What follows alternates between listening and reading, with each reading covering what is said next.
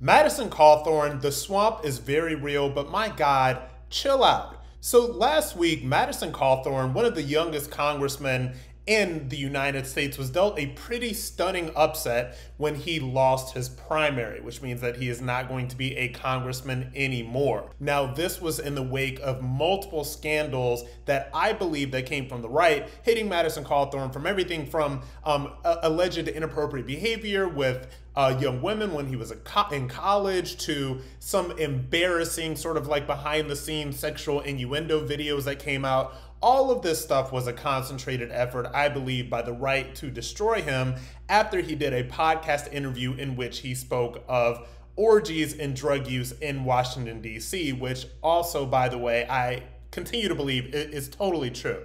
But anyway, he is not going to be a congressman anymore. And I think that this is a young man that was dealing with a lot of different issues. There was a Politico article that came out that was very fascinating, probably one of the most deeply reported articles that I've seen written about him, about the injury that left him paraplegic, about the mental health issues that he dealt with in the wake of that, about how he kind of rebranded himself into this inspirational figure and then got launched into the stratosphere once he won his congressional seat. Now, when he suffered that loss, you know, when he got knocked out of the primary, I thought it would be the perfect opportunity for him to take a step back, chill out, find out who he really is before he got back into the fight. But just a couple of days after that, he literally made a statement in which he said it's time for Dark MAGA to rise up and knock all of the RINOs out of Congress. Now, look, do I believe that he is right about that? And he is right about the fact that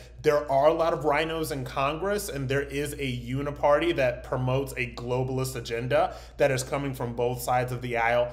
Absolutely. Do I believe that two days after losing the primary was the right day to say that? No. I think that when you're somebody that young and that successful that quick, you're going to be manipulated and you're going to have a lot of people around you that are going to be using you to push their agendas. This is what politics is.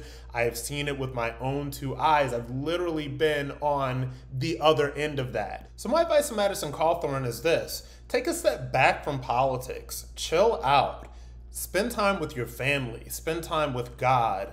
Do what you need to do outside of all of this space and all of these people that are around you trying to use you to push whatever agenda it is they're trying to push. Get one with yourself and then get back into the fight. I'm honestly wishing you the best of luck.